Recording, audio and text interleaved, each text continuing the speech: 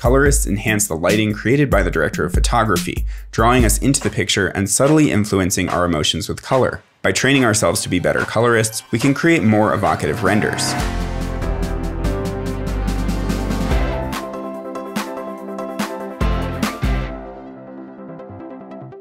Hey, what's up? I'm David Ariew, and I'm a 3D motion designer and educator, and I'm gonna help you make your renders better. In this video, you'll learn how to choose color schemes for your renders, utilize exposure and gamma controls, understand highlight roll-off and bring that property into our renders, use LUTs or lookup tables, use color to integrate 3D objects into a scene, and finally use DaVinci Resolve to bring the most out of our renders. If you want more ideas to improve your renders, make sure to grab our PDF of 10 tips in the description. Now let's get started. Much of the job of crafting images in photography or film is done by the photographer or director of photography, but often the colorist sweetens the image or even radically changes the look in post. If we train ourselves to be better colorists, our renders will benefit from these techniques greatly. Just the act of choosing specific colors to use in our scenes can be a powerful way to bring design and life into our renders. For example, using Adobe Color, we can create analogous, monochromatic, triadic, complementary, and split complementary schemes as well as a bunch of others, and then apply these to our texturing and lighting work. For instance, here in my Ice Caves music video, I went with a fairly analogous scheme ranging from cyan to blue to purple to magenta. I've got a similar thing going on in this Intel video with an even more constrained analogous scheme of blue and cyan, but at certain points I bring in a complementary scheme of cyan and orange. This one is really popular in blockbuster movies because skin tones in general are orange, and that contrasts very nicely with the cyan background. Here in this famous image from Steve McCurry, the red is complementary to the green. In this Z piece, I start out with complementary colors, though with a pop of magenta in the Z logo, but then I move into a double split complementary situation, which includes yellow, orange, cyan, and blue. Though really, Adobe Color doesn't have a color scheme for this situation, which is normally referred to as tetradic, meaning four colors, and here this middle color between cyan and blue isn't represented in my shots.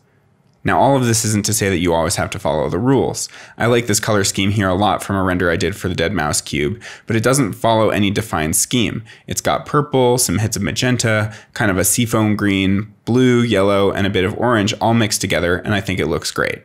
Other super important color controls are exposure and gamma, and all third-party renderers have controls like these. For instance, here my highlights are blown, so I just need to pull down the exposure. Or here I can drop the gamma to gain more contrast, but that made the render a bit too dark, so I can compensate by raising the exposure. With higher end cameras, we get more dynamic range, which just means we can see more into the shadows and the highlights. And cameras like the Arri Alexa also produce an amazing highlight roll-off, which means that rather than clipping harshly at white, they attempt to compress those highlights into a softer gradient that clips, but not in such a harsh manner. Often colorists also work to produce this effect in the grading suite. Octane has a nice control for this here called highlight compression, and this is what the shot looks like before and after. You can see how this slider really helps to rein in the highlights and create a nice effect. I don't use this all the time though, because sometimes it can create an overly low contrast look, and other times I do just want really harsh highlights in my shots.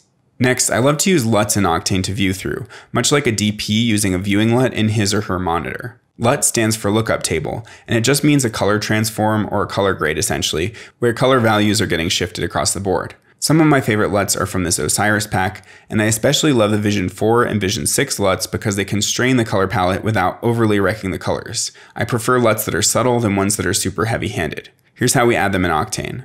In the Octane camera tag, we just go to our camera imager tab and then click on enable camera imager. Here, when we twirl down custom LUT, we can just go to our field and select the LUT. And that's all there is to it. One LUT never fits all, so it's good to try a bunch, kind of like Instagram filters, and this can be used in combination with the white balance control here. For example, this LUT shifted things to blue for me here, so I can compensate against that by dialing blue into the white balance, and now I've got a healthier range of colors going on. Another instance where we need to be concerned about color is in terms of texturing and integrating 3D objects together. For example, here these rocks from this displacement texture don't match the dusty sand very well at all, and if I go in and mix a reddish brown color into the diffuse map of the material, we're getting much closer. Also, we can do a trick here that integrates these rocks further by using a fall off node set to normal versus vector 90 degrees, and then creating more of a sand color that pools around the base of these rocks. This really blends it in nicely. And just to explain this in more detail, what's happening is only the more vertical surfaces are being selected here, which you can see if I change the color to a bright red, and that just makes it feel like the sand is collecting in these areas. Rendering object buffers is also extremely useful for adding more contrast to your hero characters and bringing more attention to certain focal points within your scenes. On top of all of this, it's very helpful to learn to use color grading tools to sweeten your renders even further, like DaVinci Resolve, which is free and my personal favorite. So here I've got an ungraded version of my render, and I'm just gonna drag this into the media pool in Resolve, and then I'll jump into the cut here, and then I'll drag this down here to create a new timeline. And then I'll just jump over to color, and so here we've got access to a bunch of color controls, including scopes, which are really helpful for viewing the information about the color. Our main controls are down here, and I'm just gonna take the lift for starters, which means our shadows, and drag this down a little bit. Now we also need to bring the gamma, which means our midtones down a little bit, and this is starting to look a lot more healthy. At this point, we can also come over here and just add a new node with Alt S, which means new serial node. And here I've got a bunch of my favorite LUTs, and if I just mouse over them, then we can see a preview. KDX is pretty nice, Vision 6 is one of my favorites, and Vision 4 is great too. I'm gonna go for Vision 4 and just double click, and now we've applied the LUT. Now if we wanna dial back on the strength of this, we can actually come over to our key window here and just take our key output down, which basically just mixes up and down the whole node. Though I'm pretty happy with it at one.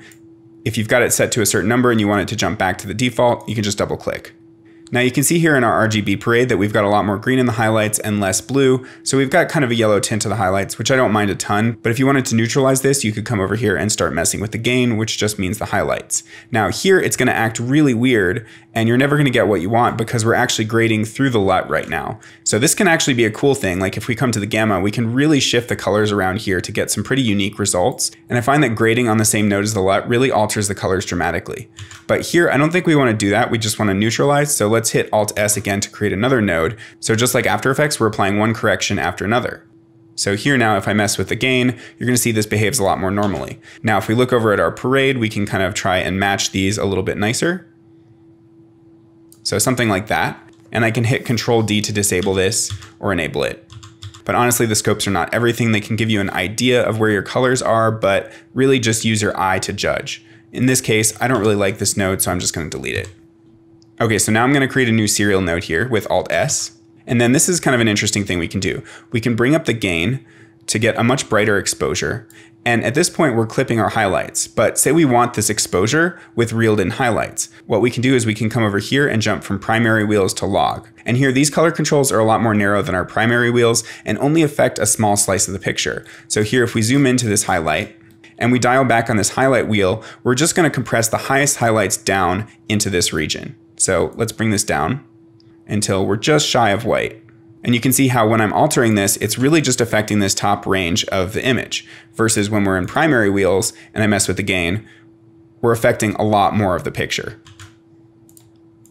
Same thing with midtones. See how we're just affecting that little slice and shadows. Now you can do funky things with this by accident. If I dial down on the shadows, you'll see it kind of gets this weird unnatural look with very dark shadows here and not so dark shadows here. So I don't tend to mess with these color controls that much, but I do like this little trick of bringing up your exposure in the primary wheels using the gain and then bringing it back down to recover the highlights in the log. Now at this point, this is way too bright. So if we come back to our primary wheels, we can mess with the gamma a little bit.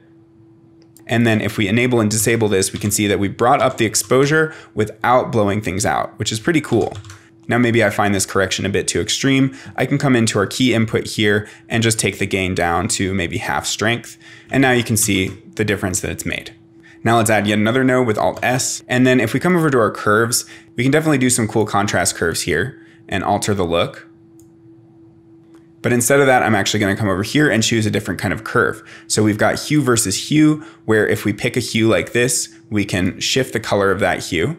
So for instance, say we wanted to change the color of our red sign here, we can just pick this color and then start shifting it. Let's make it a bright pink. And here's all the things we're affecting. So it is affecting kind of a lot of the image, but that's okay. It's looking a little bit hyper saturated, so we can jump down to the next curve here and choose hue versus saturation and choose this same color and then just desaturate. So if I hit Control D to disable this, you can see how we're shifting the reds in our scene. Next, if I jump down to luminance versus saturation, this one's pretty interesting where I can desaturate either the shadows or the midtones or the highlights in our shot. So say I just want to neutralize all these highlights to the same kind of white color, I can just drag down here and you can see them all coming up to the same line. And if we look over here at the noodle sign, say you can see these going from a bit of a yellow to more of a true white. Same thing here, we've got a bit of a yellow cast and now it's more white. So this is very much like our saturate to white slider that we saw in Octane. We could also go in and desaturate the shadows if we wanted to, just like this. Though you have to be careful because see how this is kind of tearing apart because I've made such a harsh curve. We want to drag this out so it's much more of a soft gradation. Now I don't think I want to desaturate the shadows, so I'll just hit undo on that. And if you want to reset any window, you can just click here. Now say we like this grade, what we can do is we can actually save the memory by hitting Alt 1 or Alt 2 or Alt 3, whatever you want. And then let's create a totally new grade and just delete all of this. Add in a new node, and then we'll just try out a totally different LUT like Vision X here, and then I'll drag down on the lift. And now I'll hit Alt 2 to save that. And then let's just right click and reset this. And then we can go for this one, which is pretty crazy. Same thing, drag down on the shadows. And see how in this node, we're never able to hit black because we're grading through the LUT and that's constraining us. So let's add another serial node and then bring it down to black. Maybe boost the midtones. Okay, and then we'll hit Alt 3 to save that as our third grade.